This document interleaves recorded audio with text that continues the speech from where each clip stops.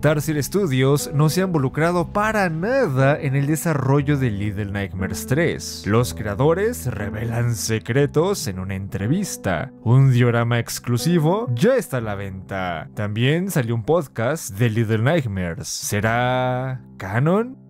Bueno, agárrate fuerte, porque todo esto, además de las teorías que lo conectan todo, te lo cuento en este tremendo video. Pues sin duda, ahora que ya estoy más relajado, pude ver a profundidad y con otros ojos la propuesta que nos tiene Little Nightmares 3. Y puedo decirles que lo estaba juzgando antes de tiempo. Estaba como el abuelo de Rocco. ¡El cambio es una caca! Pero en estos momentos, el hype me consume. Y eso significa que te daré las mejores teorías los mejores videos de esta joya. Así que sin más, prepárate ese café y enciende una vela para los nomitos, porque yo soy Alex Player One y ya comenzamos.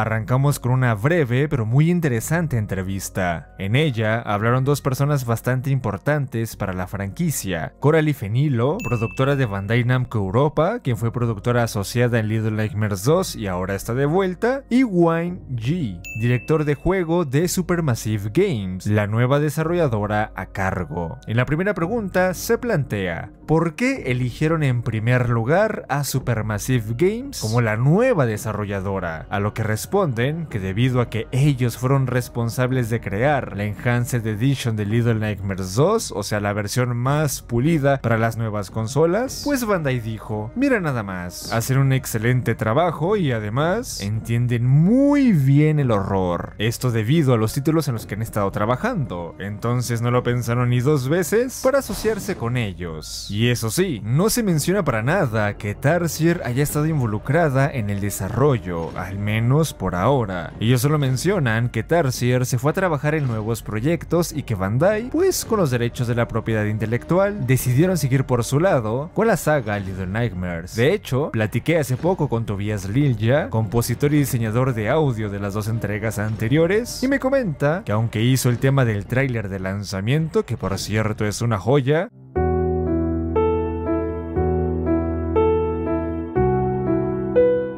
además del título del podcast.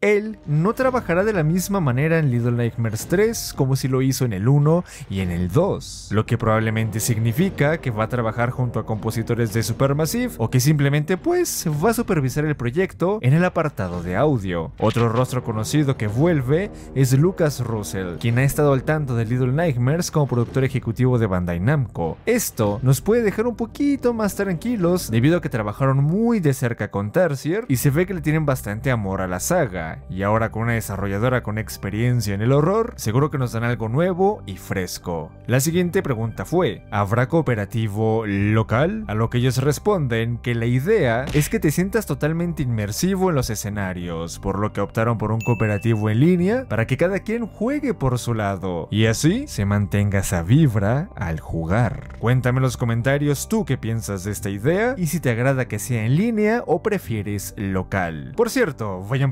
desde ahora, porque cuando salga el juego, lanzaré una convocatoria para que uno de ustedes, fieles seguidores del canal, pueda jugar conmigo en cooperativo en directo, maldita sea.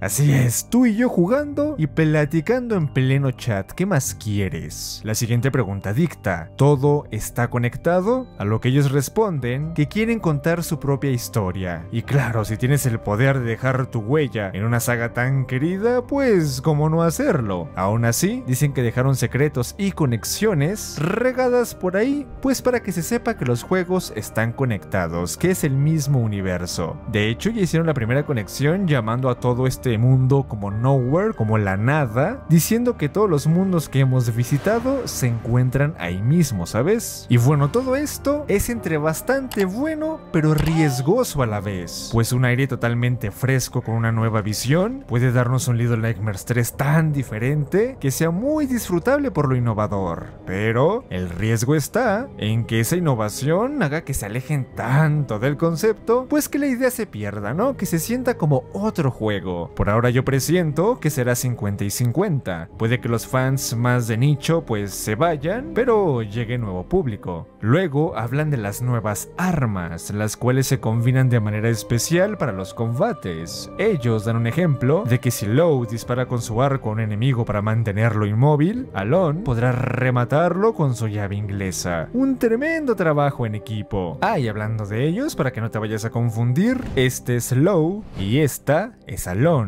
Y un dato muy emocionante que confirmaron es que podremos elegir entre alguno de los dos antes de iniciar la partida. ¿Tú a quién eliges?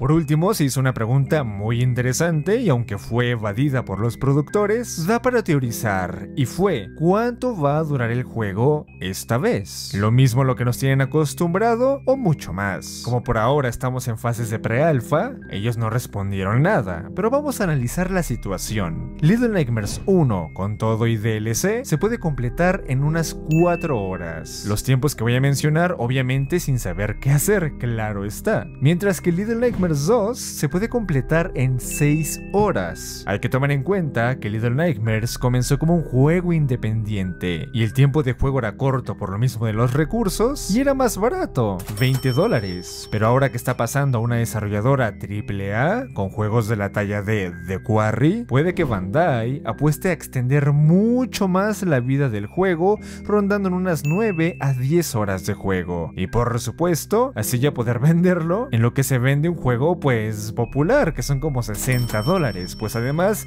ya tiene el apartado en línea, o sea, ya tienen todo para hacerlo más grande. Esto significa que podríamos tener los 5 capítulos como de costumbre, pero con el doble de duración, con sus áreas por explorar, para que el escenario sea aún más rico e interesante. En un inicio me preocupé bastante de tener un Little Nightmares más largo, más allá de las 6 horas, ya que en lo personal siento que parte del encanto de esta saga es el ritmo que tiene. Pero bueno, ahora que ya puedes jugar con alguien, supongo que esto será más dinámico, más entretenido. Cuéntame qué piensas al respecto. Bueno, ya que estamos hablando de zonas y áreas del juego, voy a intentar acomodar en qué orden posiblemente estarán y qué enemigos nos podremos encontrar. Algo interesante que no mencioné de la entrevista es que Coralie afirma que cada zona tendrá su respectivo monstruo, pues como ya veníamos acostumbrados. Así que con eso podemos arrancar. El juego iniciará con una tenue visión de un misterioso espejo, cuyo reflejo inquieta bastante al protagonista Low, hasta hacerlo despertar.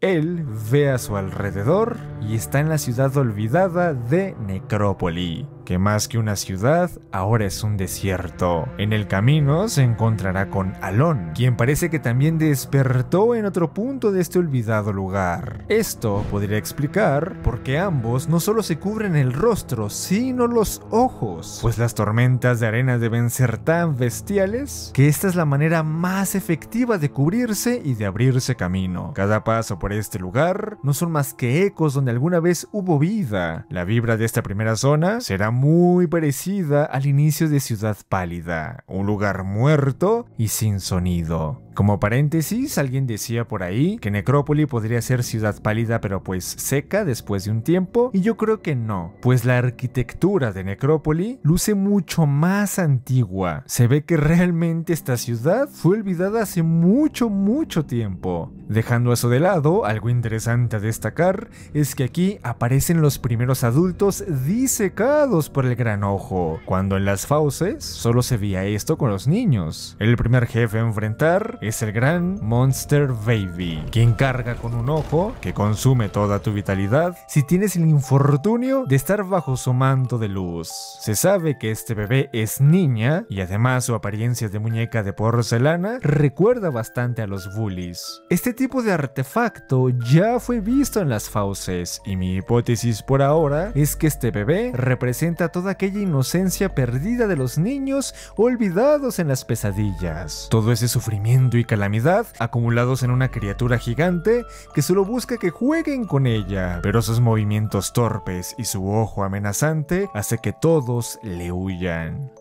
El segundo capítulo será una fábrica muy, muy parecida a las fauces. Y aunque muchos dicen, oye, esas son las fauces, míralo bien, pues habrá que esperar, yo no te lo puedo confirmar. Ahí posiblemente llegaremos bajando en las alcantarillas después de escapar del bebé gigante. Esa zona será interesantísima, pues vemos que los nomitos vuelven maldita sea, además de otras criaturas. Esta fábrica parece ser que crea los juguetes para los niños de las fauces pues vemos barriles con tinta roja, así como toneladas de paletas amontonadas. El jefe de esta zona, muy probablemente, será la criatura de múltiples manos. Imagina el terror que sembrará esta criatura que tiene la oportunidad de agarrarte más de una vez, ¿sabes? O sea, no sé, se me imagina una batalla bien, bien intensa. Al encontrar una salida a las alcantarillas y subir a tierra firme, llegaríamos a la feria aterradora. Aunque puede que estas zonas estén invertidas, puede que esta sea primero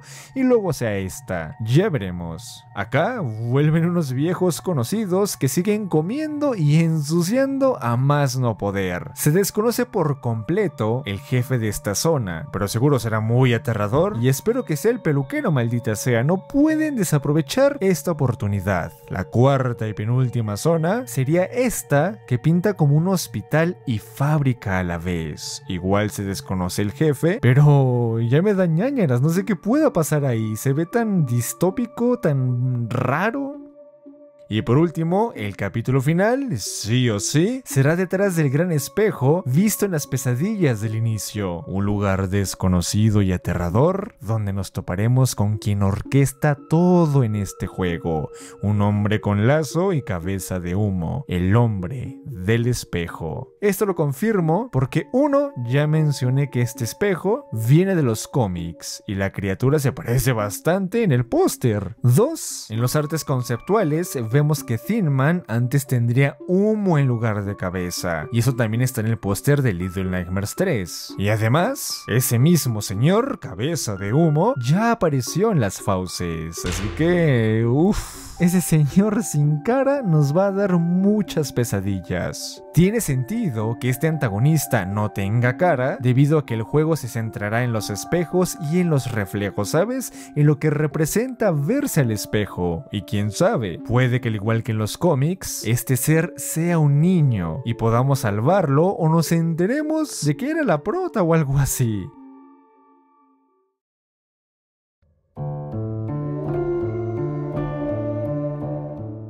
Voy a abrir con una teoría interesante de It's Just Yours, y de ahí ya las conecto con las mías. Él dice que The Lady podría ser buena y se camufla como gobernadora de las fauces simplemente para poder salvar a los niños, y que por eso los convierte en nomitos o en almas, para que no sean víctimas de los atroces adultos, porque si te pones a pensar, cuando están convertidos en alguna de estas dos formas, son ignorados, no se los comen. Esto conecta directamente con la descripción de que las fauces, o The Mo, es el único lugar con sentido de todo Nowhere. Y esto se pone aún mejor, porque entonces yo teorizo que Six no se volvió mal al absorber el poder. Al contrario, podría seguir salvando a más niños del mundo. Y si esto lo conectamos con la antigua descripción de Little Nightmares 2, cuando iba a hacer secuela, esto se pone uff, porque ahí dictaba que Six no podría contener dicho poder y se iba a desvanecer de este mundo, siendo su único propósito guiar a Mono a la torre antes de morir. Imagínate si eso hubiera pasado, Six lo guía, aquí está la torre, yo me muero o se convertía ella en, en, en Thinman o algo así,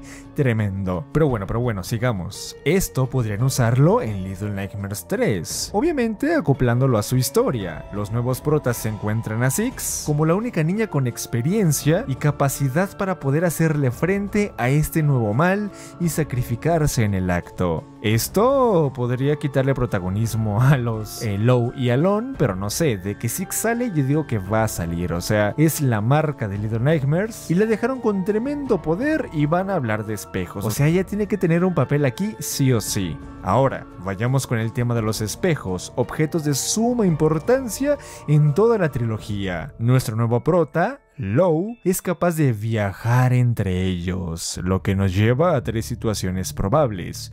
1. Los espejos tienen un periodo de vida al ser usados y se rompen al final, como algunas teles de Ciudad Pálida, lo que daría a entender que los nuevos protas han estado viajando por viejos terrenos conocidos. Y quién sabe, qué tal que ellos dejaron las notas por las fauces que se encuentra Runaway Kid, donde dice, nos volveremos a ver. Ay, ojo ahí, es que esas conexiones. Situación 2. The Lady los rompe porque una vez que un niño llega a las fauces a través de un espejo, pues no lo va a dejar ir para protegerlo si suponemos que The Lady es buena. O situación número 3. Ella los rompe para evitar que el hombre del espejo la encuentre o encuentre a los niños.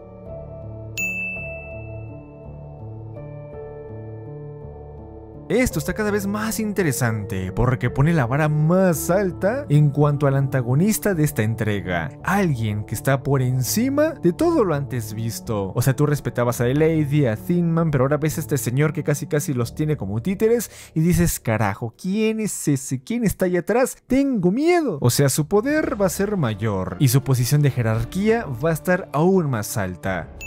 Como paréntesis, no olvides checar mi iceberg, porque ahí revelo todo. La hija de The Lady, los monarcas, pero bueno, chécalo cuando tengas tiempo. Otra teoría dicta que ella rompe los espejos, debido a que como reside en las terribles fauces sin ser mala, piensa que los niños la ven como los demás. Y eso, sin duda, la atormenta. Por eso cuando Runaway Kid pasa por ahí, dice, no, no, no, yo no soy como ellos, te lo juro. Ay, se emputa, ¿sabes? Y hablando de ese tema, de cuando ella se ve con vejez. Otra teoría que tengo, y me gusta bastante, es que este hombre del espejo sea una metáfora del tiempo y la apariencia. Una vejez que a todos nos llega y nadie quiere aceptar. Esto daría sentido al miedo de The Lady a su propio reflejo. Antes de pasar al apartado final, te muestro el nuevo diorama de Monster Baby que cuesta 120 euros, que son más o menos 2100 pesos mexicanos. Está pintado a mano y está limitado a 2000 piezas.